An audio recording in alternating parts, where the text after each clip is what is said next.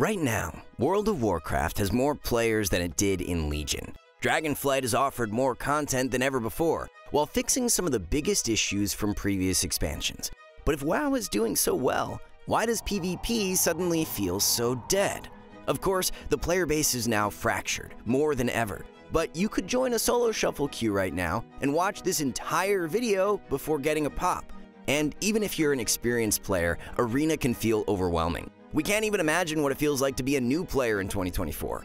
Add-ons have become part of the metagame itself, and classes now have more damage, mobility, and micro CC than any other point in WoW's history. How did this happen? And more importantly, what can we do to fix it?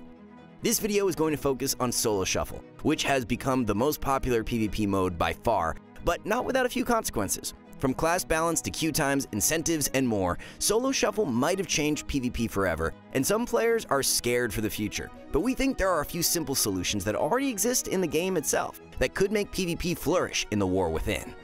So join us as we take a deeper dive into class design in Dragonflight and some of the ways PvP could be improved for the future. Everywhere you look, you will see one basic complaint about PvP. Arena is too overwhelming, which makes add-ons practically required. Oh yeah, and queue times are long, but more on that later. Anyway, let's be honest, Arena does feel hard these days, and it's hard to pinpoint why. But add-ons have become one solution. This is what Cdew's UI looked like during Warlords of Draenor. And this is what his UI looks like now. It seems like half of his screen is covered with weak auras, cooldown trackers, nameplates, and more. Without a doubt, add-ons have become infinitely more complex in the past three expansions, turning a game that is supposed to feel alive and immersive into your grandma's Internet Explorer back in 2007. Solo Shuffle is just one reason why UIs got to this point. Without communication, you need a million different alerts letting you know what's going on. But we think the issue is multiple layers deep. The problem isn't Solo Shuffle alone, but also class design, and more specifically, power creep. As WoW gets older and more complex, classes get updated and start to become way more complicated every single expansion. This isn't just unique to WoW, and happens in almost every single game. PvP has seen power creep in multiple places, and mobility is the most obvious. Ever since the introduction of Demon Hunters in Legion, there's been an arms race in the way characters move. This same expansion is when Paladins would get Divine Steed, and some melee would even get extended range on their attacks. Fast forward to Dragonflight, and a spec like Outlaw Rogue has Shadow Step, Grappling Hook, Sprint with 100% move speed, 3 extra yards on every attack, and even an attack that charges them to their target. The best part, almost all of this can have its cooldown lowered just by spending combo points. In fact, mobility is so ridiculous that a simple macro can make it look like rogues are cheating. Just watch this player after they Shadow Step Venruki.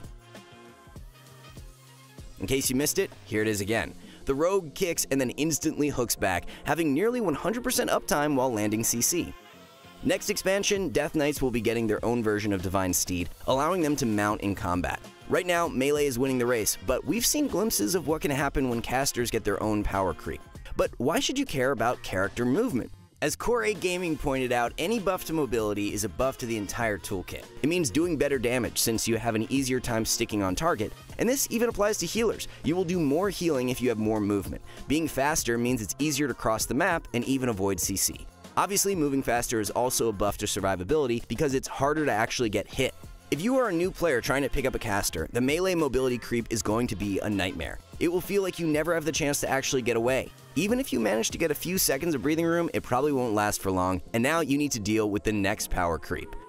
Micro CC. This is something many players misunderstand. Micro CC is not Polymorph, Cyclone, Sap, or even Hammer of Justice. No, we're talking about something else. Micro CC is the smaller, shorter CC that is just there to add more disruption. It's not Sap, but Gouge. It's not the 6 second freezing trap, no, that's the CC. The micro CC is the 3 second silence from Spider Venom. It's the fact that even if a monk misses their kick, they can still Ring of Peace to stop a cast. The metagame in 2024 is dictated by smaller micro disruptions in gameplay. Everyone's goal in Arena is to make sure the enemy team can't control their character. And it's gotten to the point where even a spell like Intimidating Shout was used as a stun effect, with Absterge getting controlled for almost 3 seconds by a fear while getting trained, eventually leading to elimination from the AWC. Before the talent tree revamp, many CC spells used to share talent slots But now, many of these choices are available all at once. In Dragonflight, Micro CC is what wins games. You're never 3-2-1ing your spells in a coordinated effort, but instead just denying your opponent from playing the game while you blast them with damage. This has even led to a completely backwards playstyle for some classes. Ironically, despite having one of the strongest crowd control spells in the game, mages don't really have any Micro CC, which means spending most games blinking backwards and being a spectator, hoping their Demon Hunter will win the game. Patch 10.1 included nerfs to the duration of almost every CC in the game, which unintentionally shifted the balance in favor of micro CC. What's the point in overextending for a 6 second polymorph while losing out on damage when your infinite mobility rogue could just gouge at almost zero damage loss? We will talk about damage in a second, but because burst DPS is so high, there isn't a need for clean setups. As long as you can just prevent someone from controlling their character, it doesn't matter how sloppy you play. Micro CC is also the reason why precog exists in the first place. With mobility creep and almost every class having an interrupt, there aren't many windows to actually cast. Watch me try and land a single Cyclone on a Demon Hunter who won't even use their kick. Between two stuns, an Incap, Glimpse, and Shadow Meld, it's not even possible to cast a single time without losing most of my HP. Because of this, most casters have the majority of their damage coming from instant cast spells. And it's no surprise that specs with the best instant cast damage are the ones who gravitate towards the S tier. The power creep of mobility and micro CC might seem where this story ends, but we're not finished yet. Weak auras has become ubiquitous in PvP starting in Shadowlands, because during the early expansion, burst damage was at its peak. With a buff to the crit modifier, players were getting one shot like never before, and even though crit damage would be nerfed in early Dragonflight, there was another dramatic shift in class design that had been boiling over in the background, as now not only was burst damage high, but now every player was taking damage at once. This was a trend that had started in Legion. Class design was moving away from single target abilities in favor of damage that would automatically cleave. Classes like mages were abandoning CC altogether in order to just AoE down every player at once. Why waste time casting Polymorph on the healer when you can just press Arcane Barrage to wipe out the whole team? Combine this with Micro CC and you have a metagame based around splash damage, especially with the introduction of Evoker, whose signature ability is a mechanic borrowed directly from a raid boss. In the past, Frost DK was defined by its AoE setups, getting a huge damage spike with Pillar of Frost and then cleaving everyone down at once. But now, it feels like most classes can do the same thing. Just crank up the damage meters and toss in a few stuns, and suddenly you've learned how to PvP. So now in Dragonflight, we have a metagame defined by power creep with mobility, micro CC, and AoE damage. Classes and comps that once felt unique have converged into a single win condition, which is to simply do as much damage as possible, abusing a million different modifiers to inflate the damage of a single spell. There's less of a need for precise setups and calculated play, and more often than not, the only thing that matters is how much damage you can do and how quickly you can respond to a weak aura. At the time of writing this video, one of the most dominant comps on the 3v3 ladder is Ret Paladin, Arms Warrior, and Fistweaver Monk. It dominates with pure numbers, overwhelming healers with raw damage and micro CC. And that's mostly how the average solo shuffle game is played, since many classes simply have enough damage to kill through healing, especially during dampening. These days, balance is less about mechanics and more about numbers. How much DPS can you do and how little will you take? So, how did we get to this point in class design? In WoW, there's been a growing tension between class balance and class identity. In the past, everyone was defined by unique mechanics. Rogues had their stuns, hunters had their pets, and Frost DK's still kinda sucked. Having a unique class identity is cool and all, but it doesn't take long to realize that some mechanics are really nice to have, especially in PvP. Warriors used to be defined by Mortal Strike, and were one of the few classes to actually have this mechanic, but as it turns out, reducing healing in PvP is pretty damn good. So good that these days almost every single melee in the game has Mortal Strike. And even Warlocks have it too, but it gets even more ridiculous. Demon Hunter have a Mortal Strike. Two stuns. One of them is AoE, by the way. What more? Oh yeah, an instant cast Polymorph or Cyclone, an AoE Fear, a magic dispel for some reason, and they basically have speed hacks. Demon Hunter is a pretty extreme example, but you get the point. Mechanics that were once unique are now passed around like a joint at a Snoop Dogg concert. This is known as homogenization, which causes classes to lose their identity over time in the sake of game balance. There's a private server called Project Ascension where any player can use any ability. In this game, there are no classes. Obviously, we're not at this point, but you can start to see the extreme end of homogenization. It might seem cool, but it takes away the identity of playing a unique class. The cool part about playing a rogue is being a tactician, but these days more and more specs are becoming brawlers, even sub-rogues, who at one point were topping damage with Rupture all while tab targeting to kill the entire team. Now, we don't want to go pointing fingers, but PvE and especially Mythic Plus were a big part of homogenization. Mythic Plus is by far the most popular game mode in Season 3, with almost 300,000 runs per day, compared to Solo Shuffle, which doesn't even scrape that amount per week. The Mythic Plus player base is almost 10 times the size of PvP, so it kinda makes sense what direction Blizzard might lean to when figuring out class design. To do big pulls in Mythic Plus, you need your group to quickly dodge mechanics, all while having enough kicks and CCs to stop multiple casts in a row. Hmm, mobility and lots of CC. This sounds familiar.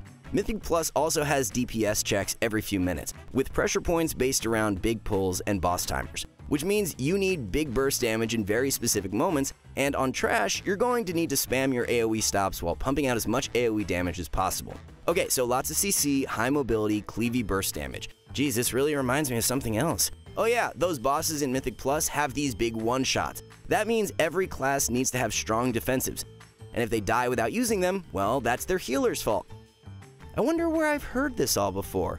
We don't think it's a massive conspiracy to say PvE might have had a massive effect on class identity and class balance.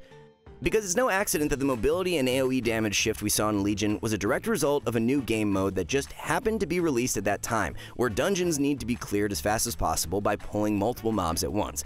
And now these power creeps have fully spilled over into PvP, becoming even more amplified thanks to Solo Shuffle, a game mode where raw damage reigns supreme. The add-on problem that many people talk about wouldn't be such an issue if the game weren't so power crept. You wouldn't need 10 different alerts letting you know the enemy team popped their Giga AoE offensive.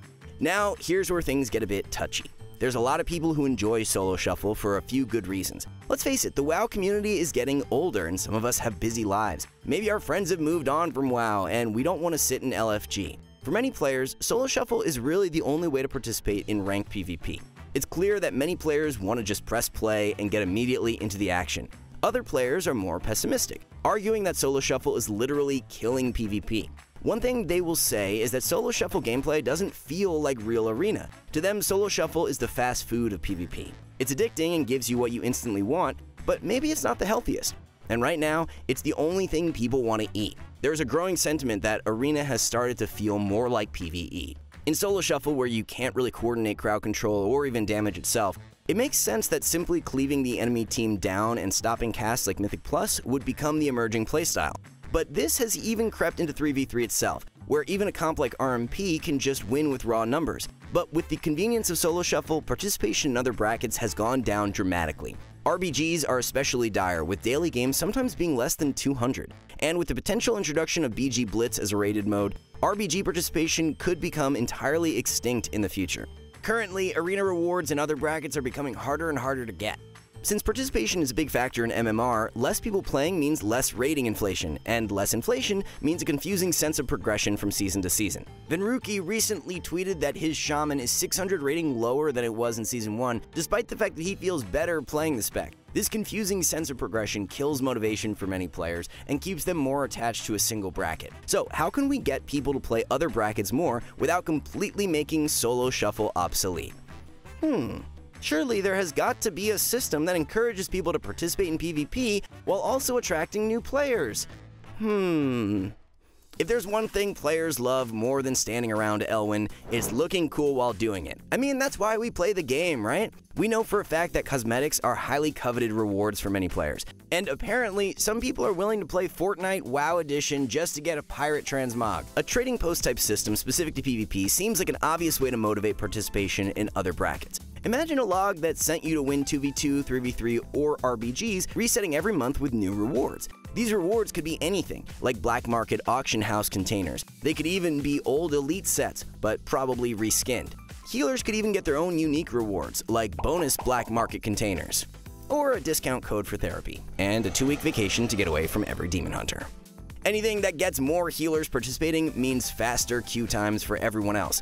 The goal is to make sure players can enjoy everything WoW has to offer by offering incentives to play multiple brackets. As long as new players have a motivating reason to engage in PvP, and as long as we can make sure everyone is trying every bracket, PvP will naturally be in a better place. With more players, there could be a greater incentive to rethink class design.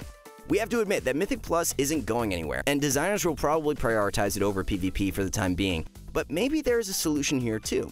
Even though the talent trees were meant to be evergreen systems, maybe it's time for PvP and PvE to finally have completely different talent trees. Some classes need dramatic reworks in PvP. Frost Mage is just one example. It's suffering from button bloat, with not one, not two, but three different and easy to counter burst spells. To fix this, the entire spec would need to be rebuilt from the ground up in PvP. But instead of class tuning these days, it's more about adjusting PvP modifiers up and down. The entire philosophy behind the original PvP talent system was to make sure classes could get major reworks without affecting PvE balance and vice versa.